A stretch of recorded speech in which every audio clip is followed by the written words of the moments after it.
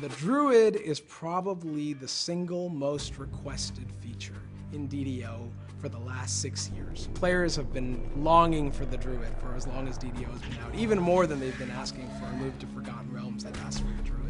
The hard part was getting ready for it, so we were careful not to announce it too early before we knew we'd get it right. Uh, the Druid is a really popular class of players, especially from players who've played the tabletop game, because the Druid has a deep connection with nature and has shape-changing powers, and it's very exotic.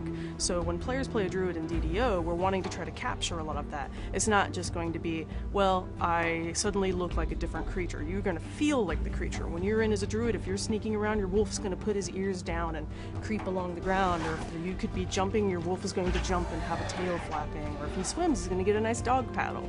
So the idea is when you transform, you're not just looking different, you feel different when you play the Druid.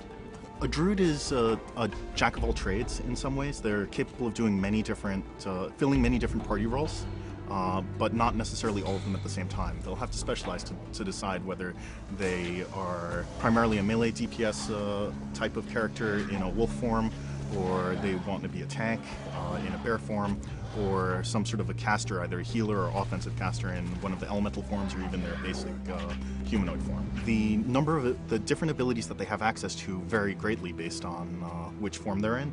So the form selection is one of the biggest uh, things that will change how you're playing the druid. Based on the enhancements that you take and what spells you have slotted, uh, you'll be able to change some of your focus in the middle of a dungeon at a rest, rest point, but not necessarily your whole character's direction. Historically, in Eberron, the gatekeepers are the main druidic faction. They were responsible for stopping a couple of major invasions from extraplanar armies. So when portals from alien planes open up, the gatekeepers come on the scene and they figure out how to close the portal. This is very important for the storyline of the expansion pack because Lolth herself, she's opened up a portal from her plane of the demon web to try to attack Eberron and you know the gatekeepers come onto the scene and they bring their, their druidic knowledge and druidic forces. And um, the player uh, players who choose to play as druids are an expression of that. They would be aligned with the gatekeepers. We had to create the shape-shifting technology the pet system for them and a whole new magic system for them which is a pretty big undertaking. And uh, ultimately the stars aligned and, and players will see a lot of druids coming to DDO starting this summer